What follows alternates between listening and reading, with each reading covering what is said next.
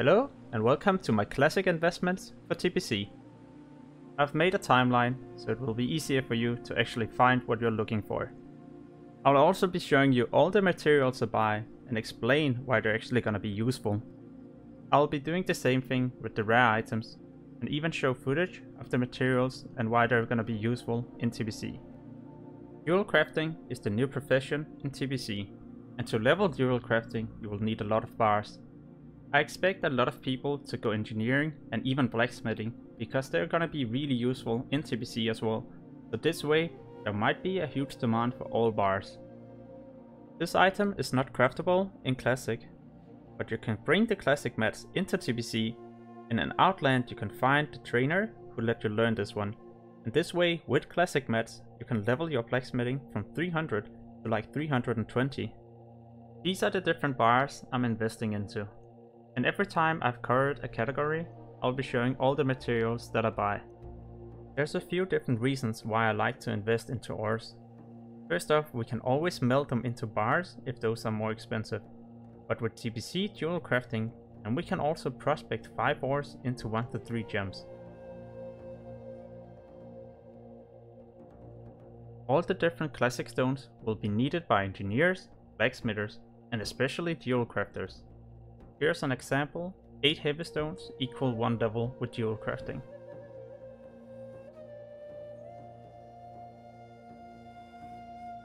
Flask of Mojo, but also Heart of the Wild are fairly cheap and classic right now. But with the introduction of TBC, you will actually need these to level up jewelcrafting, and that's why I expect them to go way higher compared to the current classic price. I also invest into gems, but some of the high level gems is not worth it to invest into right now. Reason for this is because they might be expensive, as some of them are needed for next runners. Sometimes you can buy star rubies and large opal for winter price. Get these as you can always just window them if there isn't a huge profit to be made. A lot of classic consumables are really useful in TBC, the people who dungeon farm or solo level will need them. That's why I like to invest into it. And in case I don't make a huge profit, then I can always use them myself to level up to 70 a bit faster. The dark runes are also used for Paladin's epic mount. With all the boosting going on in Classic right now, most cloth is actually fairly cheap.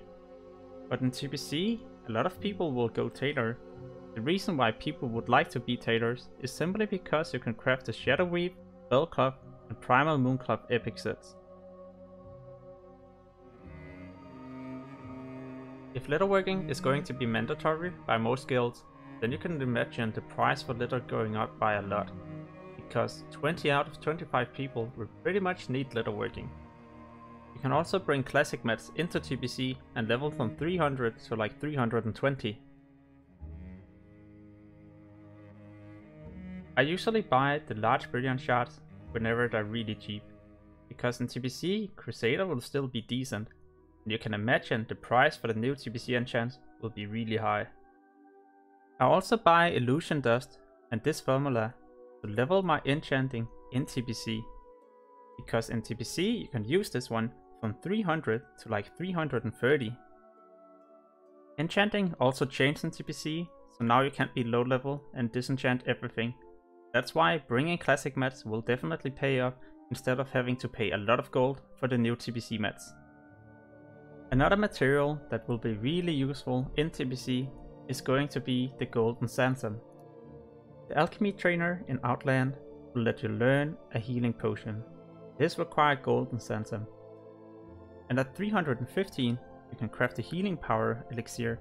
This once again requires Golden Sansam. Totem of Storm is an investment for people planning to roll Draenei Shaman in TBC. This ring is not really useful in Classic, but in TBC it will give a lot more dodge and therefore might become more useful for 19 twinks.